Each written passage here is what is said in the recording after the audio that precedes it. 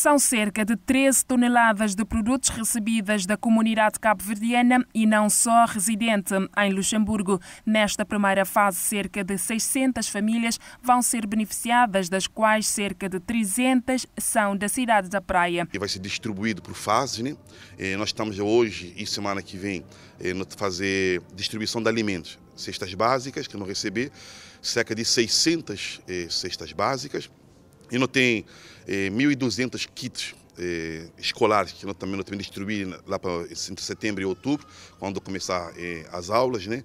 Então nós também não tem algumas vestuários, peças de roupa não receber. Então foi um, um, ato de solidariedade da, da Igreja Universal de Luxemburgo, que fazia uma arrecadação ali no país, muitos caverianos participar, e não só, como tinha falado, né, portugueses, brasileiros, enfim, luxemburgueses, luxemburgueses participar nesse, nesse evento de arrecadação.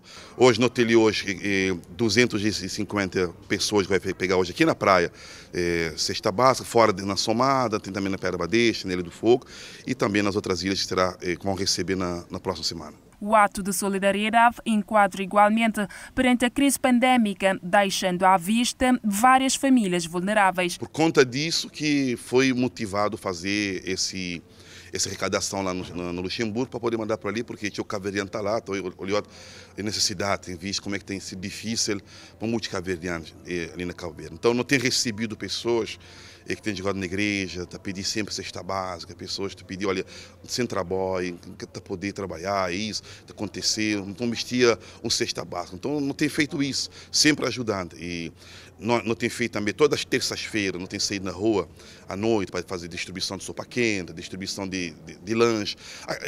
Aquilo não poder fazer, não tem, não tem, tem feito para tentar minimizar. Não se vê que é que tá mudar a vida de ninguém, mas também minimizar a situação que muitas pessoas têm passado, principalmente nesse momento de pandemia que, que, não, que tem sido fácil.